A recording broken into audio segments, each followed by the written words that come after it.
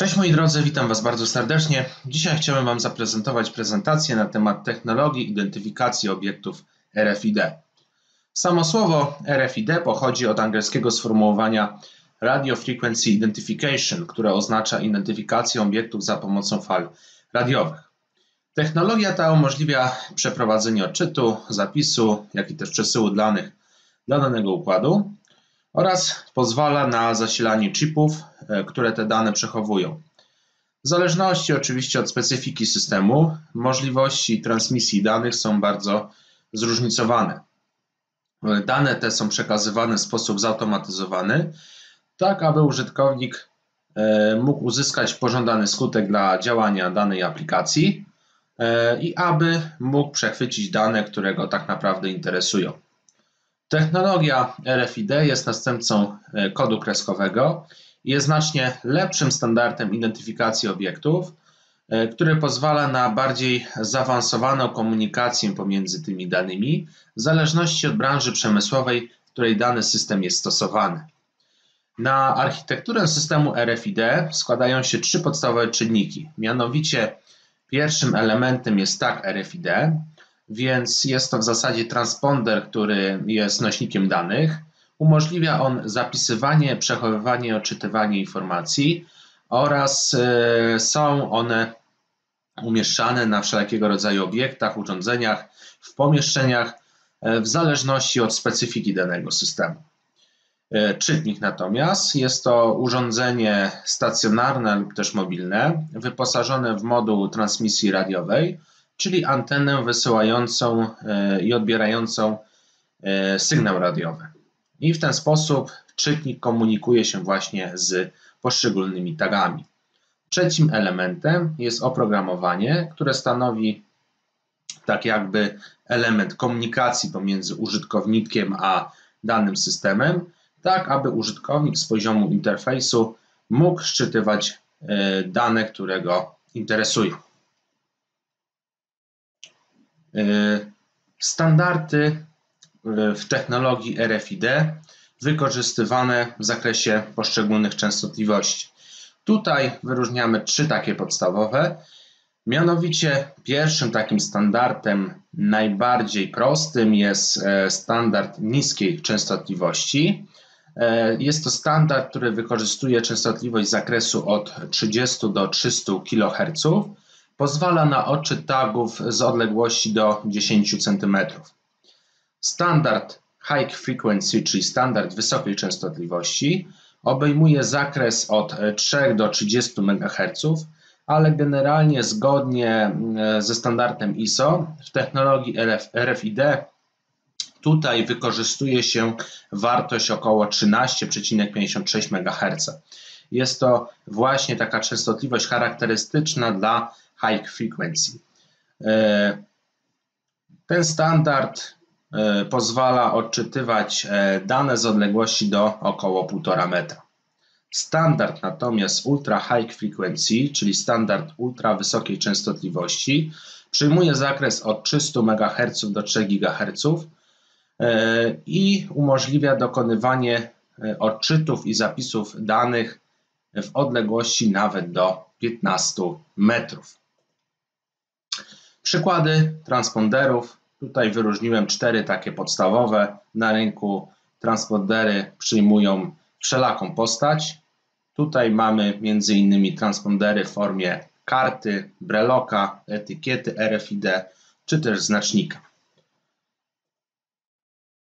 E, transportery RFID składają się z trzech takich podstawowych elementów. Jeżeli będziemy analizować transponder w postaci karty i prześwietlimy go światłem białym, to zauważymy trzy takie podstawowe elementy. Mianowicie pierwszym elementem będzie układ scalony, czyli nic innego jak mikroprocesor i element bufora pamięciowego, który przechowuje zakodowane w tagu informacje. Antena, mm, czyli element odpowiedzialny za emisję i odbiór sygnału radiowego, i obudowa, która może przybierać e, różnego rodzaju formy, na przykład począwszy od foliowej naklejki, poprzez etykiety papierowe, aż do zamkniętych kapsułek z tworzyw sztucznych. E, tagi RFID dzielimy e, na trzy takie podstawowe ze względu na sposób zapisu danych. Pierwszym elementem jest taki standard read-only, w zasadzie są to najprostsze tagi, które nie służą do zapisu danych, a jedynie do ich odczytu.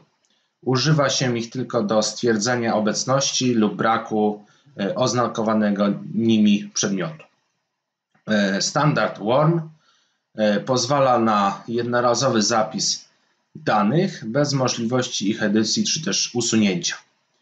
I najbardziej zaawansowany standard. Tak Revitable, E, posiadają transpondery, które mają możliwość wielokrotnego zapisywania, modyfikowania, jak i też odczytywania danych. Tagi e, RFID ze względu na sposób zasilania dzielimy na trzy takie podstawowe, mianowicie tag pasywny.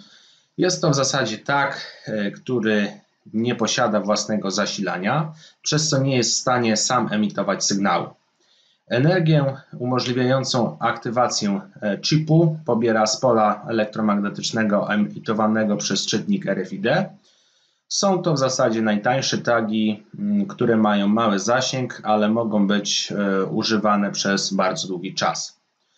Tagi półpasywne natomiast posiadają własne źródło zasilania w postaci baterii, ale służy ono jedynie do zasilania chipu, a nie do emitowania fal radiowych.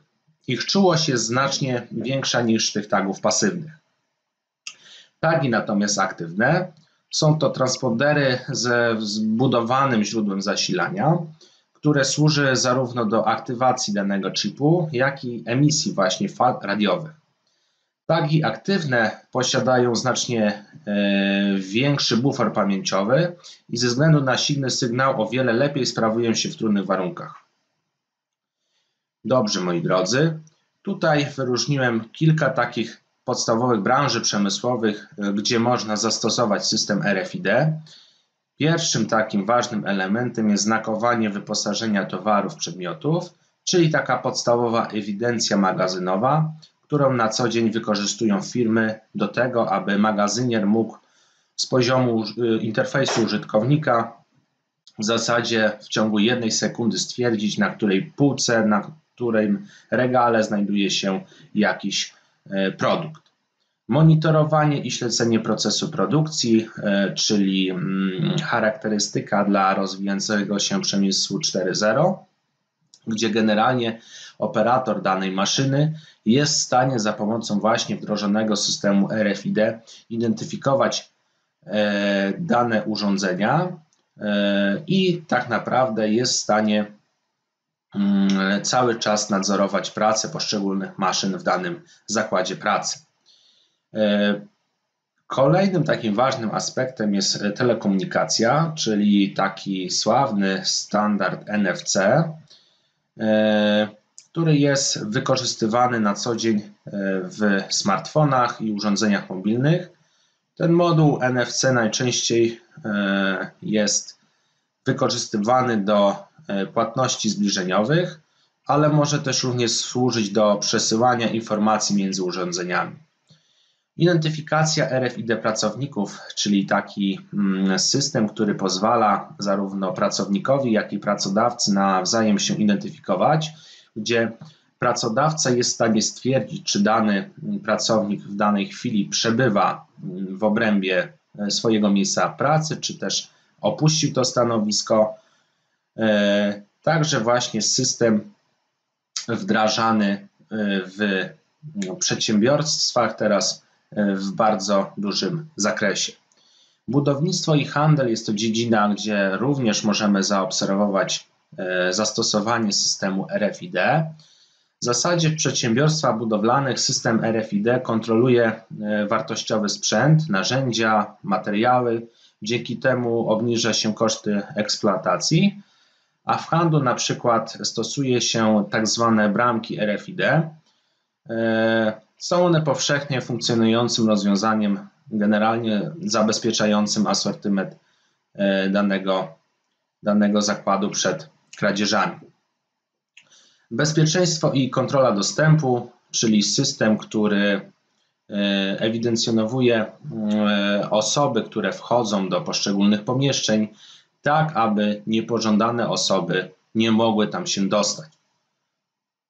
Dobrze, moi drodzy, teraz chciałem przedstawić Wam kilka projektów zrealizowanych w ramach Koła Naukowego Informatyki Przemysłowej, gdzie generalnie mm, na tym filmiku omówimy jedynie w sposób teoretyczny działania całego systemu, a mm, w sposób praktyczny pokażemy na odrębnych filmikach. Pierwszym e, takim projektem zrealizowanym w ramach koła jest elektroniczna gra memory, gdzie użytkownicy, aby zagrać w taką grę, w formie planszowej muszą odwracać karty i generalnie e, należy sprawdzać, co dana karta kryje. U nas, aby sprawdzić, co kryje się pod daną kartą, należy najpierw e, wybraną e, kartę, czyli ten RFID tag, zbliżyć do czytnika i generalnie użytkownik na podstawie zeskanowanego numeru identyfikacyjnego karty jest w stanie uzyskać obrazek na ekranie komputera. Na system działania e, e, tej gry memory składa się przede wszystkim e, moduł Arduino ze specjalną nakładką, jak i też przygotowany interfejs, który pozwala moim małym przyjaciołom sprawdzić, co dana karta kryje. I generalnie logika tego systemu działa w taki sposób, że jeżeli numer identyfikacyjny karty jest równy numerowi identyfikacyjnemu e, przypisanemu do bufora pamięciowego, to zwracany jest obrazek. Jeżeli natomiast nie, no to moi mali przyjaciele wtedy na swoim komputerze nie uzyskują e, żadnego obrazku. I generalnie wygrywa ten, który zbierze więcej par z obrazka. Dobrze. Kolejnym takim projektem jest nieco zaawansowany, e, zaawansowany projekt pod względem mm, specyfiki systemu RFID. Mianowicie jest to elektroniczna lista obecności, którą e, są w stanie generować te osoby, które zapisały powiedzmy swoje imię i nazwisko oraz numer indeksu do karty w standardzie MyFair, czyli 13,56 MHz, czyli to charakterystyczne, y, to charakterystyczne y, sformułowanie w przypadku częstotliwości high frequency. Proszę Państwa, i aby zapisać dane na kartę RFID, nasz system musi na początku odczytać odpowiednią E, odpowiednią kartę. Jeżeli uda się nawiązać połączenie z poziomu modułu, e, to użytkownik e, za pomocą interfejsu synchronizowanego z modułem Arduino IDE jest w stanie przypisywać dane do poszczególnego bufora zawartego na tej karcie. Powiedzmy, użytkownik chciałby wpisać swoje imię i nazwisko, ponieważ system będzie identyfikował tego użytkownika właśnie po E, imieniu i nazwisku. I jeżeli użytkownik wprowadzi e, do bufora mm, w postaci heksadecymalnej zakodowane dane, to uzyska odpowiedź od strony systemu, że zapis e, jest poprawny. Jeżeli natomiast nie, to musi próbować do skutku. Dobrze. I aby mm, odczytać teraz dane z karty RFID, to użytkownik musi ponownie zbliżyć do przeprogramowanego modułu E, swoją kartę. E, tutaj również zastosowaliśmy taki mm, e, bardzo rozbudowany interfejs oparty o działanie bibliotek Qt, gdzie właśnie osoba, która generuje elektroniczną listę obecności, może bezpośrednio nadzorować ten proces. I tutaj ten system też działa podobnie, to znaczy użytkownik, który uprzednio zapisał swoje E, dane identyfikacyjne do karty, zbliża tą kartę do czytnika i czytnik na początek synchronizuje się z buforem pamięciowym i zwraca e, szczytane informacje przez monitor portu szeregowego do komputera na interfejs, gdzie Później osoba generująca tą listę obecności jest w stanie odczytywać e, wygenerowane, wygenerowane osoby. I tak jak tutaj widzicie, jeżeli wszystko się uda, to moi mali przyjaciele są w stanie e, odczytywać po kolei swoje e, imiona i nazwiska. Jeżeli natomiast coś zepsują, no to muszą próbować do skutku. Dobrze, moi drodzy, z naszej strony póki co to tyle. Dziękujemy bardzo serdecznie za uwagę i zapraszamy do kolejnych filmików.